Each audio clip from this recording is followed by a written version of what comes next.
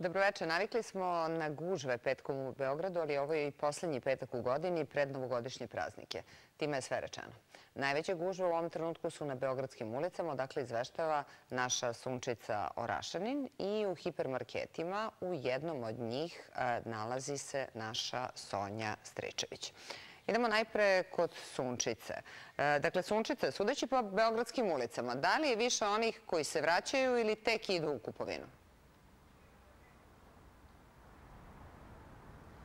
Sudeći po slici koju smo mi ovde zatekli, u ovom trenutku više je oni koji idu u kupovinu, a dvostruki je razlog za gužve ovog popodneva u našem glavnom gradu. Kao što smo rekli, i petak je i poslednji radni dan u 2017. godini. U saobraćaju najveće gužve su upravo ovde gde se mi trenutno nalazimo na autoputu kroz Beograd. Kao što možete videti iza mene, velika kolona vozila formirana je i ona se proteže od studentskog grada pa sve do Konjarnika Procene su da je vozačima potrebno od 35 do 45 minuta da bi prošli ovim delom grada. Osim na Gazeli, na autoputu kroz Beograd, velike kolone vozila u ovom trenutku i na Brankovom i na Pančevačkom mostu u smeru ka centru grada, nešto više vozila, ali bez zastoja. Trenutno je na Slavi, na autokomandi i kod e, sajma. Upravi saobraćene policije rekli su nam da su se kolone vozila formirali na izlazima iz Beograda zato što je mnogo naših sugrađana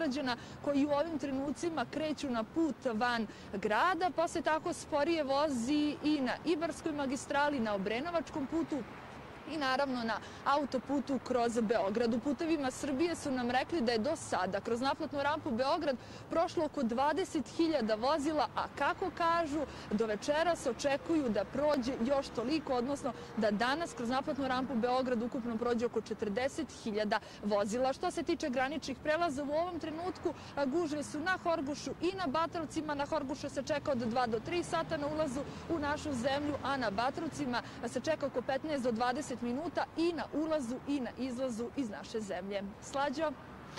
Hvala ti, Sunčice. Sonja se nalazi u jednom od najvećih hipermarketa na Novom Beogradu.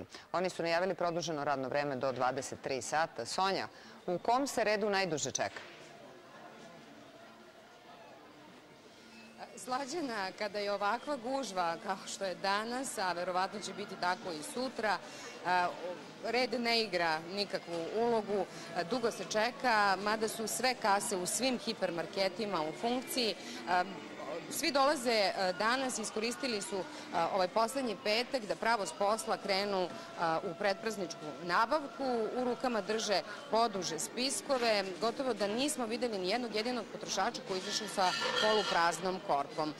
Rekli su nam da se najduže čeka na odeljenju delikatesa u proseku od 15 minuta do pola sata, da se kupuje sve, dakle hrana, piće, pokloni, igračke, dečiji paketići. Kada sve to obave, dakle od rafa do rafa i stignu do kase, e, tu onda sledi drugi deo e, priče, čekanje u proseku od 15 minuta do pola sata. Možda ni to ne bi bilo toliko strašno e, da ne ide na kraju pitanje koliki je račun. Računi su u proseku od 5, 6 pa čak do 15.000 dinara. Svi oni vrlo rado pitaju da li mogu da otplaćuju na više mesečnih rata. Naravno, to je moguće i mnogi se odlučuju da ono što će potrošiti sada za novogodišnje praznike plaćaju čak u oktobru sledeće godine. Kada govorimo o nabavkama, dakle, danas i sutra svi hipermarketi rade uobičajeno do 23 sata, u nedelju skraćeno do 18 sati. 1. januar je neradan, a od utorka 2. februara sve prodavnice rade uobičajeno. Eto, toliko slađena za ovo upućenje iz hipermarketa sa Novog Beograda. Hvala Sonja, hvala i tebi Sunčice, vidimo se još u toku emisije. Dakle, čuli ste šta kažu naši reporteri, a evo šta kažu građani. Ovako je bilo oko 14 časova u tržnim centrima. Gužve su od ponedeljka, kažu trgovci. Dnevno bude između 35.000 i 45.000 ljudi, a očekuju da će ih naredna dva dana biti dvostruko više. Kupujemo poklone, kupujemo poklone za svoje. Gledamo, ne znam sad šta ćemo pre. Prvo vodimo dečice da imamo nešto njima za poklon, pa vidjet ćemo za dalje. Našla sam sve što me interesuje i sve je kupljeno. Prodavci ne mogu da procene koliko prosečan potrošač troši, ali znaju da su dnevni pazari milionski. Već su počela i sniženja. Dovoljni smo, ali dobro, nisu tolika sniženja. Prošle godine su bila možda veće malo. Či da li ima sniženja? Ima. Dosta baš.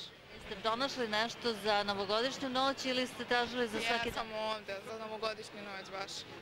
Tržni centri danas i sutra rade produženo do 23 časa, a 31. decembra radno vreme biće skraćeno do 18 časova.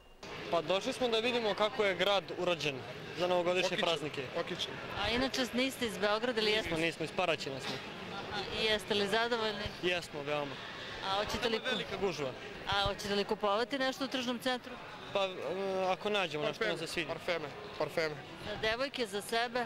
Za sebe, zbog devojaka.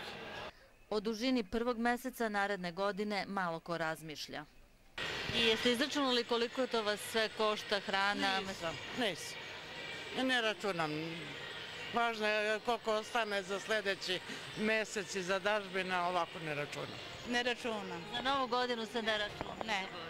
Bez obzira na debljinu novčanika kupuje se sve. Hrana, garderoba, ukrasi, pokloni.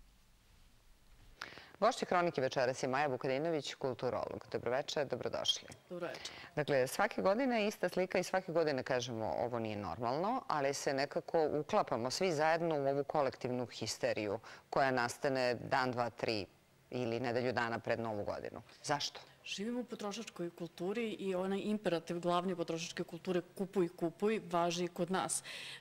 Mislim da e, mnogi građani štede tokom godine i onda se opuste i prepuste potrošačkoj pomami, bukvalno jednoj potrošačkoj groznici za vreme novogodišnjih praznika i svugde u svetu, pa tako i kod nas, jer globalna je potrošačka kultura. Tokom novogodišnjih praznika je najveća i potrošnja. E, Znate šta, danas su stizale vesti sa svih strana, kako otprilike u saobraćaju su svi krenuli negde, a svuda su takve gužve kao da se nešto deli džabe. I šta je ono što prosečnog čoveka natera da i poslednje pare iz džepa izvadi i da ih potroši na novogodišnje, recimo, poklone? E, Mnogi ljudi žele da se mere sa drugim ljudima, odnosno imaju potrebu da žive slično kao i drugi ljudi, odnosno stilom koji je potrošački životni stil. E, Mnogi ljudi, dakle, imaju potrebu da, e, kao i drugi ljudi, potroše i da pokažu da mogu da potroše, makar i štedeli tokom čitave godine, da bi mogli za novu godinu da kupe poklone, da kupe sebi nešto. Ali možemo da se odbranimo od toga? Teško, e, zato što smo okruženi i bombardovani reklamnim i drugim porukama Jesu trgovci svakodnevno. malo krivi za to, malo Pa, nas dobrim delom, da? dobrim delom stalno čujemo da postoje popusti, da, da postoje razne mogućnosti, manje ili veće i mnogi ljudi krenu tim putem, aha, proći ću jeftino, kupit ću nešto sada pa ću platiti za, za šest meseci, kao što smo čuli u ovom prilogu. Mnogi Mhm, U oktobru će neki otplaćivati rate, da. I mnogi su spremni na tu vrstu žrtve da bi išli u korak sa društvom, da, da ne bi izostajali e, u, u tome, u toj potrošačkoj groznici. A čime se još koriste trgovci? Pa koriste se ra- naravno popustima, odnosno reklamama, e, zavodljivim e, reklamnim sloganima da, da će e, učiniti lepšim, boljim život ukoliko Je li to malo i manipulacije? Pa naravno, naravno da jeste. E, to, to je jedna od odlika reklamne industrije koja nam poručuje kao i potrošačko društvo da je kupovina put ka sreći. Tako da e, sve ono što vidimo sa svih strana, sve poruke koje dobijemo i u vizualnom i u svakom drugom smislu poručuje nam da ćemo biti lepši u ovoj bolji, pametniji, drugačiji u novoj godini i da upravo zato treba da se prepustimo potrošnji. Mnogi ljudi, ponavljam, e, su baš u vreme praznika spremniji da, da potroše nego u nekim drugim periodima tokom nove godine, jer je ovo vreme kada se prave i novogodišnje rezolucije, kada se planira narednih 12 meseci. Čekajte, šta je uticalo na to da se pri- priča o porodičnim praznicima pretvori u priču o kupovini poklona? Zato što živimo u potrošačkom društvu e, već dobrih 20 godina, ta- tako reći u hiperpotrošačkom društvu koje nas stimuliše i podstiče na svaki način da mi treba da kupujemo i da ćemo e, biti e, na neki način izdvojeni iz zajednice ukoliko se tako ne ponašamo. E, Vrlo je mali broj ljudi koji ne podležu e, kupovini, odnosno koji su skromni i koji teže jednom skromnom i dočeku i, i praznicima uopšte.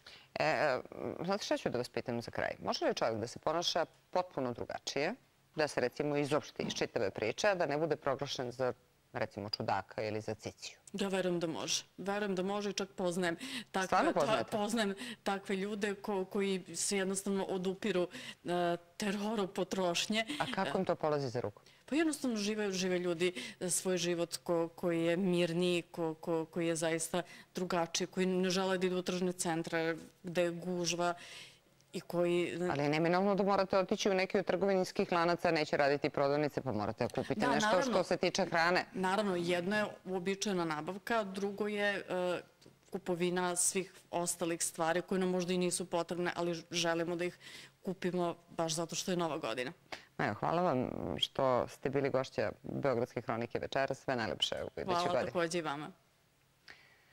Evo šta još gledate u Beogradskoj hronici večeras.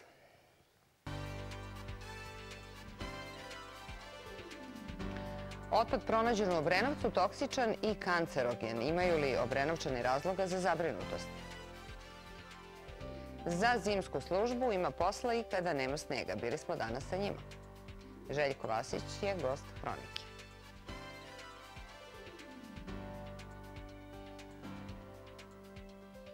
A kada u Beogradu pada sneg, u šali kažu da je njihov posao da hvataju pahulje u letu. Šta rade ovih dana kada su temperature gotovo prolećne? Danas smo bili sa komunalcima koji najviše rade baš za praznike. Nema praznične noći za mnoge. Može li se neko birati između novogodišnje i badnje večeri? Ma da bi komunalci najviše da odmore zbog porodici i gostiju, mora se malo i slaviti. Ko će i kad raditi, zna se i u GSP-u firmi koje je zbog odlaska i manjka vozača na tržištu možda i najteže. Pa ja ne radim, ja sam slobodan vikendom. Tako da ne radim, ali da, ali bit će ko radi. Ima li mogućnosti da se zameni? Pa uvek Ima li kolega? Pa ima, ima. Ima. Ja radim ujutru. Koju? Ujutru, ujutru. Jutarnje. Jel vas pitao neko da ga menjate? Pa uvijek pitaju, ali bit će bolje. Biće bolje u porodici. Pa. Centar grada, e, tržni centri, znači sve te, ta mesta gde će biti veliki broj ljudi, stranih posetilaca. Mora da bude. Da, da čisto, znači čisti su sve tri smene. Za čistoću najviše posla ima pre slavlja, jer grad za goste i sve nas mora biti čist, a i novogodišnji koncert u centru uvijek donosi obilje posla. Pre koncerta se naravno održava i po završetku manifestacije, odnosno koncerata, naši ljudi će sa autočistilicama i e, duvačima očistiti znači, sve što će biti, biti otpad posle koncerta. Bar prema prognozi neće biti snega, jer bi uz otpad i njega morali da odnose rezonu u ovom preduzeću. Oko podneva je naglo zahladnilo, naoblačilo se. Koliko je prognoza pouzdana? Bez padavina u novogodišnjoj noći, ujutro oko nule. To je putarima prognoza, koji znaju da ima dosta vozača na putu. Treba će im čisti, siguran put, bezbedan i ako bude negde leda, naravno da ćemo da intervenišemo selektivno tamo gde to bude Ipak ste potrebno. tražili malo više ljudi s mene. Tražili smo jer je praznik veliki, je tako značajan, nova godina, kažem, i zbog toga smo tražili od investitora drugi stepen angažovanja, to podrazumeva 30 već, 39 velikih kipera. Beograd put ima 170 vozača i plan prave ni po babu, ni po stričevima. Niko ne voli pogotovo zimsku službu, jer u toku zimske službe su svi i verski i novogodišnji, i jedna i druga nova godina, i Božić, i, i naravno da ne možemo da biramo kad, ko radi. Napravi se raspored i kad kome zapadne, da tako kažem. Svetog Nikolu, kojeg slavi više od polovine vozača, su pregrmeli, kaže dugogodišnji šef Željko Maravić. Pamti zimu od pre šest godina, prolećna, i kad su pomislili da je neće ni biti, oko 20. januara pao je sneg i usledilo je 40 ledenih dana. Mnoge ekipe vratili su sa juga gde su bili ispomoć. Lično ne pamti veliki sneg. Seća se, kaže, dok je bio u vojsci da je sneg napadao, pa supruga nije mogla da pređe put da komšijama čestita novu godinu. Svako po nečemu pamti novu godinu, zavisno od situacije, ni sneg nije bauk, pa i ako padne, iznenada. A prihod Beograda od turizma e, ove godine između 750 i 800 miliona evra, a turista 20% više nego prošle godine. Istraživali smo gde prosečan turista najviše potroši. Prazna skadarlija, ali samo zato što je jutro. Tek po neki prolaznik i dobavljači robe. Već od podneva potpuno drugačije. Skadarsku ulicu ispune ne samo Beograđani, nego i turisti. Ove godine u našem glavnom gradu bilo je više od 2 miliona noćenja. Imali smo 67 hotela pre četiri godine, sad ih je 94. E, Da li je to dovoljno? Ne, nije dovoljno. E, Smešteni kapaciteti se i dalje grade, otvaraju se veliki hoteli, Hilton nas čeka sledeće godine, neki drugi domaći hoteli, domaćih investitora. Tako da e, mislim da će biti bolja situacija već do godine, ali ako nastavimo ovaj rast ni sledeće godine kad budemo razgovarali o ovoj, o ovoj temi, opet će se vjerojatno desiti da nemamo dovoljno smeštenih kapaciteti. Pre šest godina najviše turista bilo iz Slovenije, a sada iz Turske. Dolazi Izraelci. Tu je čitava planeta. Evo ja upravo posle e, našeg razgovora imam sastanke sa još jednim turoperatorom iz Kine, a potom, iako je ovo kraj godine, a potom i sa e, turoperatorom od turističkom agencijom iz Indije. E, dakle, bukvalno smo zanimljivi čitavom svetu. Pre nekih e, nedelju dana, ne na ovom sličnom mestu, odgovara sam na pitanje e, nacionalne južnoafričke televizije. Beograd menja odela, kaže direktor turističke organizacije Beograda. Ono što je za nas uobičajeno strancima i atrakcija. Postali smo, dodaje, i shopping destinacija. 17 promocija širom sveta od, od Čikaga do Pekinga i Šangaja u toku ove godine i na svim tim promocijama je recimo kada pomenete ulicu Otvorenog srca, kad pomenete taj naš običaj, to je sad već običaj 1. januara, svi su zainteresovani. To je nešto neobično, nešto što nas odvaja. Ulaganje u infrastrukturu su se isplatila, ali najvažnije je ipak gostoljubivost Beograđana. Za hotelijere i vlasnike restorana ovo je ružičasto doba godine. Gotovo da nema slobodnog mesta za doček. E, U Beogradu trenutno 4 stepena, sutra ujutru mraz, ali od podneva porast temperatura. Od nedelje najviše dnevne između 10 i 13 stepeni. Slede Beogradske vesti. Pionirski park otvoren je nakon rekonstrukcije, a gradonačelnik Beograda Siniša Mali rekao je da se zelene površine uređuju kako bi građani imali gde kvalitetnije da provode slobodno vreme. Na gotovo 2,5 hektara u samom centru grada uređene su nove staze, igralište za mališane, postavljene nove klupe i uvedene bežični internet. U rekonstrukciju parka uloženo je 107 miliona dinara. Gradski menadžer Goran Vesić i predsednik opštine Vračar Milan Nedeljković su vračarskim mališanima uzrasta do 7 godina delili besplatne novogodišnje paketiće koje je već drugu godinu za redom obezbedila ta gradska opština. Ove godine će za tri dana biti podeljeno ukupno 3000 paketića, rekao je Vesić novinarima i zahvalio opštini Vračar što je odvojila deo svog budžeta kako bi obradovali mališane. Tokom novogodišnjih praznika u gradskom prevozu važit će nedeljni red vožnje, a od srede do Božića subotnji. Parkiranje će u zoniranim delovima grada biti besplatno 1. i 2. januara. Prodavnice prehrambene robe i hipermarketi u nedelju će raditi uobičajeno, a skraćeno će biti radno vreme tržnih centara. 1. januara prodavnice će biti zatvorene. Zelene pijace će 31. decembra raditi uobičajeno, a 1. i 7. januara biće otvorene pijace Zemun, Banovo brdo, Bele vode i Dušanovac do 13 sati. 31. decembra glavna pošta u Takovskoj radit će bez prestanka, dok će većina drugih pošta raditi do 17 časova. U ponedeljak 1. januara radit će samo pošta u Takovskoj. Posetite platu ispred hrama Svetog Save i uživajte u svakodnevnom programu manifestacije Božićno se oce kod hrama, nastupi dečjih i crkvenih horova na Božićnoj jelci, koncerti poznatih izvođača i vožnja fijakerom. Božićno se oce kod hrama od 4. do 28. januara na platovu ispred hrama Svetog Save. Sve informacije možete pronaći na sajtu božićkodhrama.rs. E, Gost kronike večeras, Željko Vasić. Zdravo, dobrodošao. Hvala, bolje vas našao. Dakle, iz Amerike nisi stigu još ni da se vratiš. Evo, polako Polako dolazim sebi, dolaziš da. sebi, pravo kod nas u studiju. Juče si došao. Prekjuče. Prekjuče, Dobro. zapravo. Chicago, New York, Miami. Washington. Washington. Kako je bilo? Sjajno. Ovaj, meni je to prvi put Mhm. da, da uopšte letim za Ameriku. Mhm. I usput onako i radno. Tako je. I ja sam stvarno iznenađen. Više od svakako od, od onoga što sam očekivao. I imao sam stvarno sve uspešne nastupe. Kad kažeš Ovaj. uspešne nastupe, imajući u vidu ti prvo iskustvo, ajde da te pitam. Kako se publika Kako ti je dočekala publika? Da li je to, recimo, nešto što bi mogu da uporediš sa nekim svojim nastupom ovde, negde u regionu? Apsolutno. Da, apsolutno. reaguju sve ono isto. Apsolutno, apsolutno. Pa do- ima dosta mladih ljudi. koji Da sad znaju pesmu?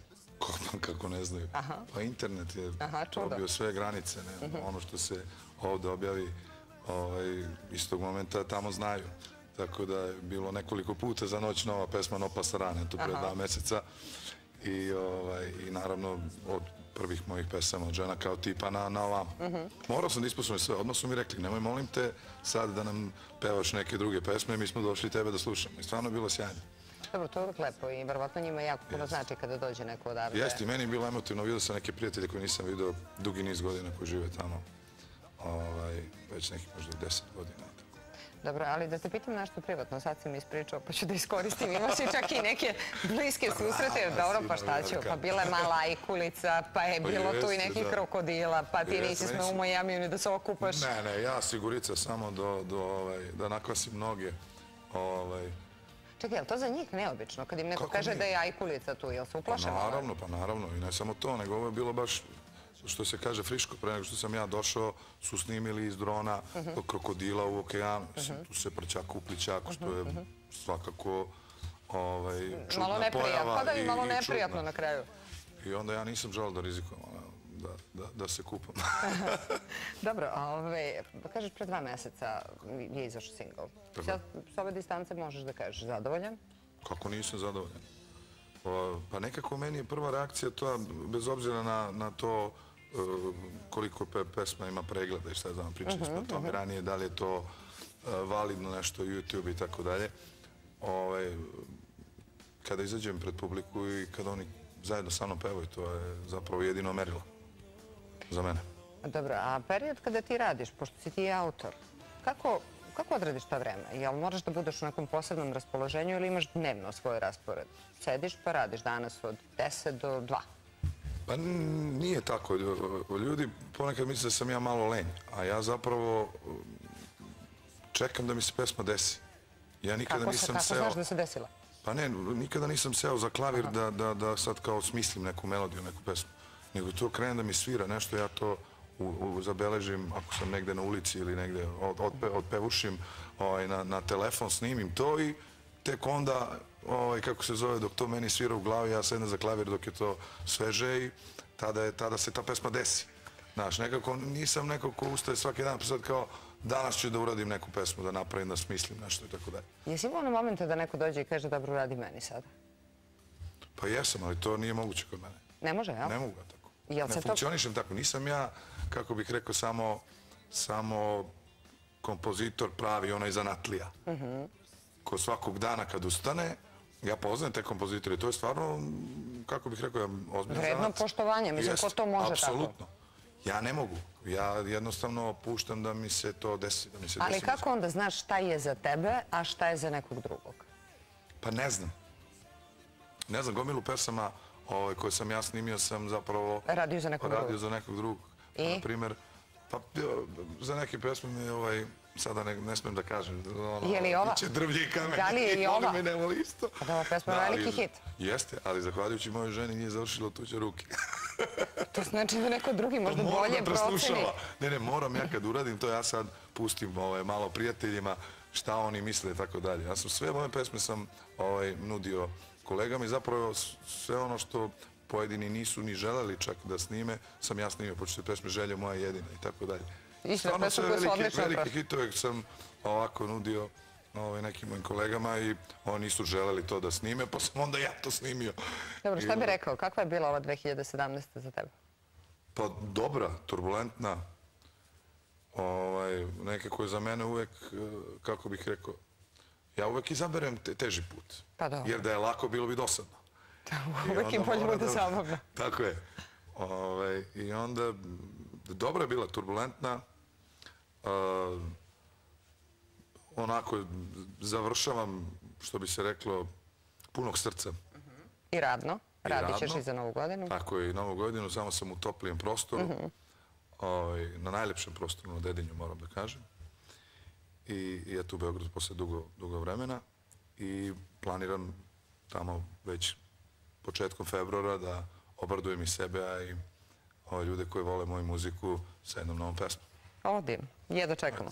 Željko, hvala ti što si bio večera sa nama. Lepo se provedi za novu godinu, da uživate svi zajedno ja i sve želim- najbolje. Ja vama želim svako dobro. Ljudi nek uživaju iz novogodišnji program. Znam da je vrhunski. Jeste. Zato što sam i učestvovao. Jeste, jeste, vrhunski. Ovaj, tako da, eto. Ko ne ide na novu godinu ima ovaj, RTS i novogodišnji program. Hvala ti što si bio s nama, sve najbolje i vidimo se sledeće godine. Hvala. Hvala tebi.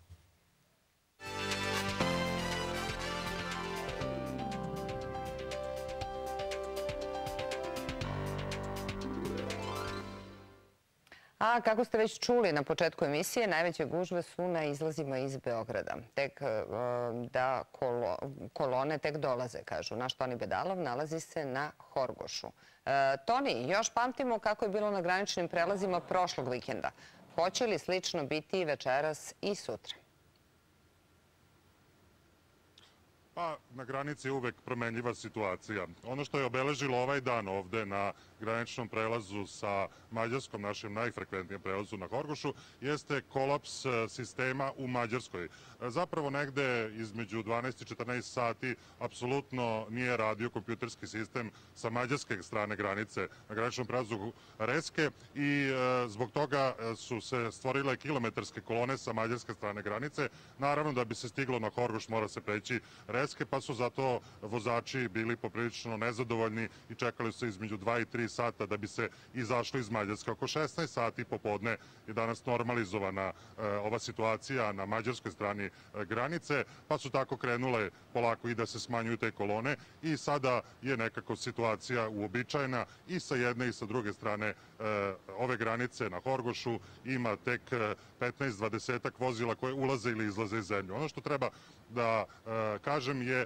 da će od večeras pa u naredne 24 sata između 150 i 200 autobusa krenuti put evropskih metropola da bi proslavili tamo putnici novu godinu i naravno bit će čak kažu ovde na granici oni koji će i 31. svratiti preko graničnog prelaza da tu proslave novu godinu očigledno im ona neće biti tako mnogo važna. Ali prvog i drugog na izlazu iz zemlje ovde se očekuju veće kolone vozila. Za sada, što se tiče Horgoša, situacija se normalizovala, odnosno sa mađarske, grane, e, sa mađarske strane granice sada vozila prolaze normalno. Slađom? Hvala ti, Toni, na uključenju. A naša Sonja je i dalje na Novom Beogradu. E, Sonja, ima li gužve u saobraćaju na Novobeogradskoj strani i da li će na Novom Beogradu biti ulice otvorenog srca? Slađana, iako za Novi Beograd, odnosno Novi Beograd, odlikuju veliki bulevari, e, neuobičajeno mnogo automobila, uopšte vozila u ovom trenutku e, se kreće ovim bulevarima. Nema gužve u smislu, nema zastoja, ali, kažem, e, za ovo doba dana zaista neuobičajena slika puno vozila, a to znači da Beograđani očigledno koriste ovo vreme da nabave sve što im je potrebno za novogodišnju noć. Kada govorimo o ulici Otvorenog srca, da 1. januara Novobeograđani tradicionalno dakle će uživati u ulici Otvorenog srca, upravo ovde u bulevaru Zorana Đinđića na platovu kod tržnog centra. Program počinje u 10 sati i kako kažu organizatori ima svoju satnicu, ali ona se svake godine pomeri baš zbog dobrog raspoloženja koje je tipično za svaku ulicu Otvorenog srca bez obzira gde se ona organizuje. Dakle, kulturno-umetnički program, hor čarolija, rock hor, oni su zaduženi za dobro raspoloženje mališana. Biće tu brojni animatori, klovnovi i čuveni nosići će se takođe ovde prodavati i sva, sve što se bude prikupilo, to će ići u humanitarne svrhe. S obzirom na to da meteorolozi za 1. januar prognoziraju izuzetno toplo vreme za ovo doba godine i čak 14 stepeni, topla preporuka i poziv da gde god da se organizuje ulica Otvorenog srca u centru ovde na Novom Beogradu, Rakovici ili Čukarici, Beograđani svakako posle novogodišnje noći iskoriste tu mogućnost i da po lepom vremu, vremenu uživaju u ulici Otvorenog srca. Slađana? Hvala ti, Sonja. A bina ispred Narodne skupštine je već postavljena. Tamo je naša Sunčica Orašanin. Sunčice, ko će sve zabavljati Beograđana ovih dana? za Beograđane i goste Beograda. Sutra nastupaju Zana, Van Gogh i Željko Samarđića. U najluđoj noći publiku će uveseljavati Balkanika, Riblja čorba i Aca Lukas. Osim ove najveće bine ispred Doma Narodne skupštine, u Beogradu je postavljeno i nekoliko manjih, pa će se pevati večeras i to na Savskoj promenadi od 20 časova. Nastupaju Ortodoks Kelci i ničim izazvan i e, koncerti su sva tri dana, naravno besplatni. I ovi predpraznični dani su čini se jedini u godini kada je podjednako velika gužva i u saobraćaju i na šetališnim zonama u našem glavnom gradu. Procenjuje se da je kroz Knez Mihajlovu ulicu samo tokom protekle nedelje prošlo više od 300.000 ljudi, a očekuje se da će u najluđoj noći u Beogradu biti oko 50.000 stranaca. Slađo? Hvala ti Sunčice na uključenju. A za domaćice koji još razmišljaju o novogodišnjoj trpezi, evo predloga. I sasvim je drugačiji od očekivanog. Skoro na svakoj trpezi naći će se ruska salata, sarma i pečenje. Služit će se torte od 10 kora sa 10 jaja. Biće tu i slanih i slatkih pita. Nenad Gladić, Lepi Brka, preporučuje nešto potpuno drugačije. Tu je kuvano proso, bundeva, rendana, suve šljive, suve smokve, seckane i malo oraha, par kašika meda,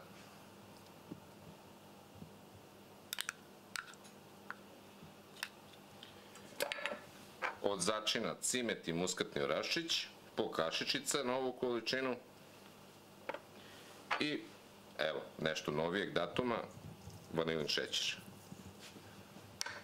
To će biti fil za ovu, hajde da kažemo, novogodišnju pitu, brzinsku, jer uvek, kažem, pored tih bogatih kolača, koji su naravno i sa jajima i sa puterom i svim ostalim, treba imati spremno i nešto posle. I dok se pita peče, valja popiti nešto. Koktel koji svako može da napravi, osvežavajući i bez alkohola. Jelena Pavlović predlaže različite kombinacije, soda voda, limunov sok, slatko od jagoda, sveža nana, ali i malo povrća. Apsolutno domaća radinost, sok od paradajsa. Ja ću sad dodati po malo onako na vrh kašičice, malo bimera. I sve ove sastojke koje dodajem, ovo je malo peršuna, ovo je, stavit ću malo i oregana. Sve sastojke koje vi volite, vi u stvari možete da stavite. Malo rena, ili malo više, zavisi. Ja ću dodati i malo senfa. Ovo je pravi mini doručak, onako, to je... To se onako lepo, lepo, lepo izmeša. Malo limunovog soka prosto malo da ima te neke kiseline. Celer, limun i masline mogu da posluže kao dekoracija, ali i za grickanje, dok ne stigne pita. Brzo se peče, dovoljno je 20 minuta. Služi se topla, mada je, kaže Lepi Brka, još bolja hladna, kad odstoji dan, dva.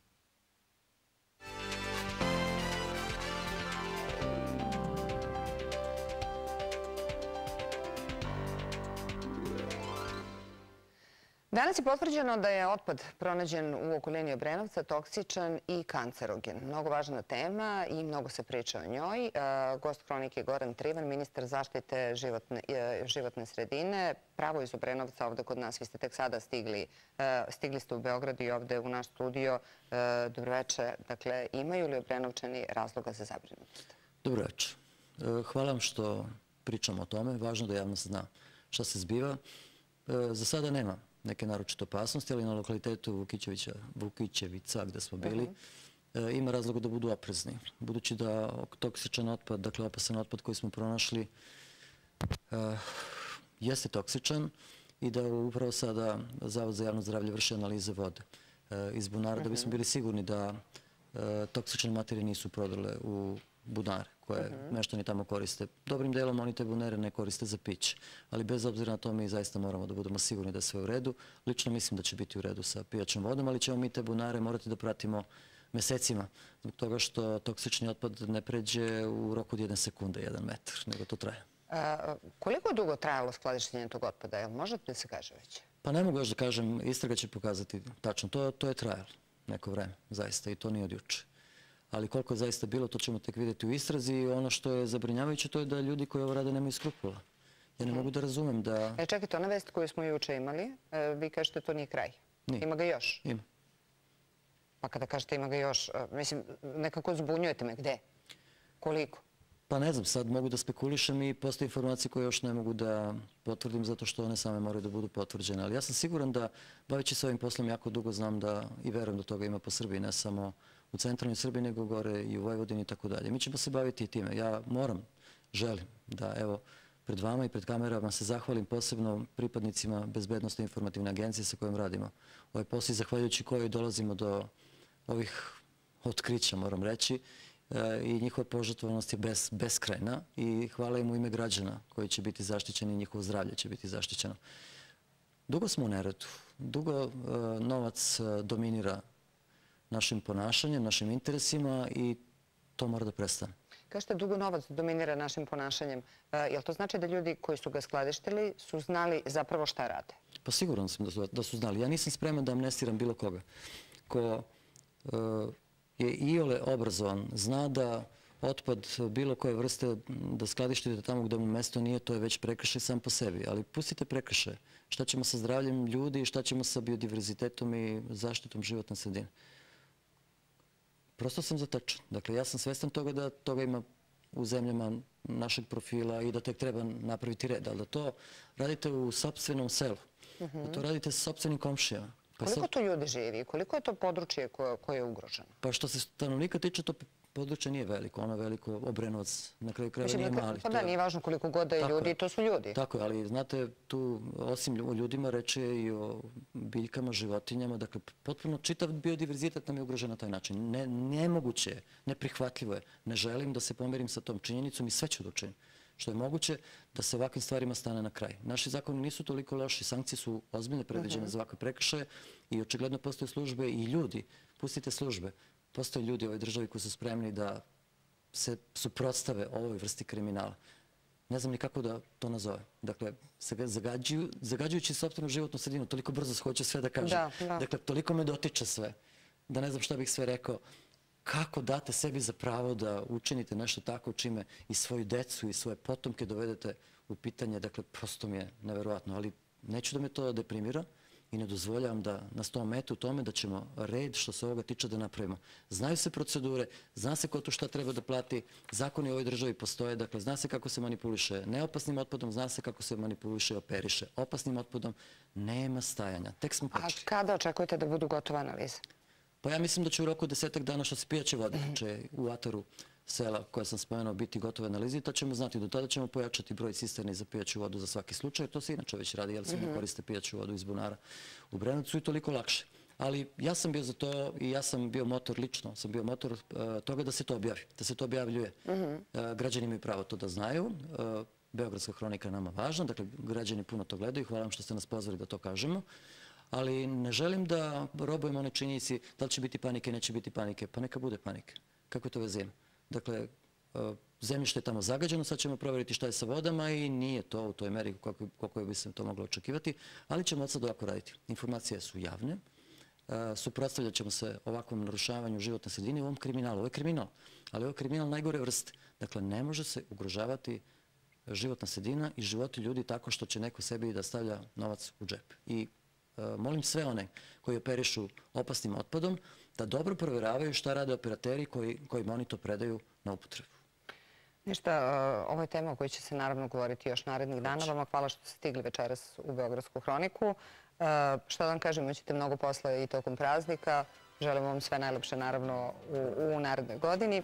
Poštovani gledalci, mi smo došli do kraja današnje emisije Beogradske hronike. Dakle, u ime ekipe koja realizuje ovu emisiju, u novoj godini vam želim pre svega dobro zdravlje, puno sreće, radosti. Mi se sa vama ponovo družimo od srede, tada će rado biti sa vama. A vi već znate, sve informacije pratite na internet portalu, društvenim mrežama i YouTube kanalima RTS-a. Snimak ove emisije na kanalu BGD TV1. Doviđenja.